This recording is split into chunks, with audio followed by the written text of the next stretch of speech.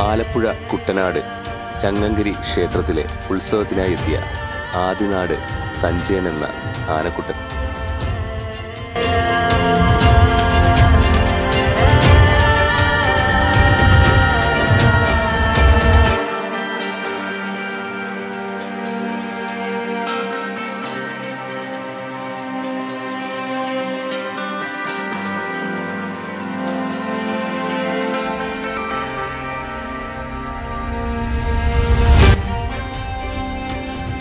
കൂടെയുള്ളത് നമ്മുടെ ഉരുബിനി ചേട്ടനാണ്.